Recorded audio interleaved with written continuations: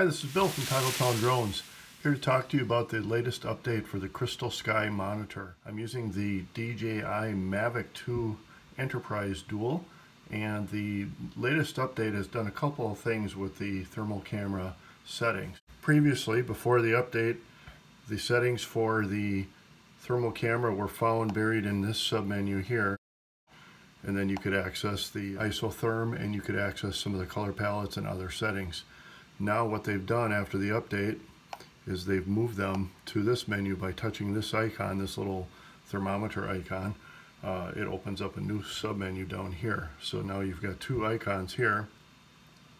The first takes you into the menu for the color palettes. So you can swap between your color palettes here.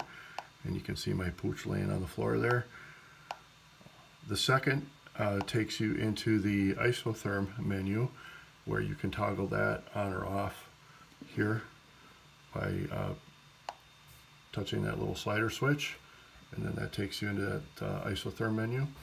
Uh, now you can adjust the uh, low and high ends of the spectrum of the temperature ranges that you wish to detect. So if you're looking for a fire, maybe you crank that way up.